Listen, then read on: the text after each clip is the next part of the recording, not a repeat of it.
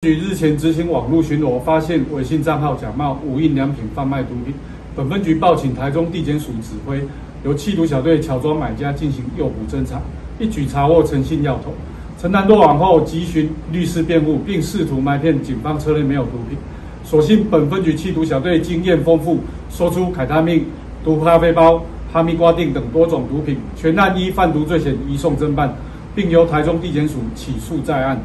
本分局呼吁，贩卖第三级毒品凯他命属七年以上有期徒刑重罪，切勿以身试法。本分局将持续针对辖内毒品情资及贩毒热点加强查缉，青少年朋友切勿因同才诱使或压力轻易尝试毒品，甚得染上毒瘾，以免造成身体危害。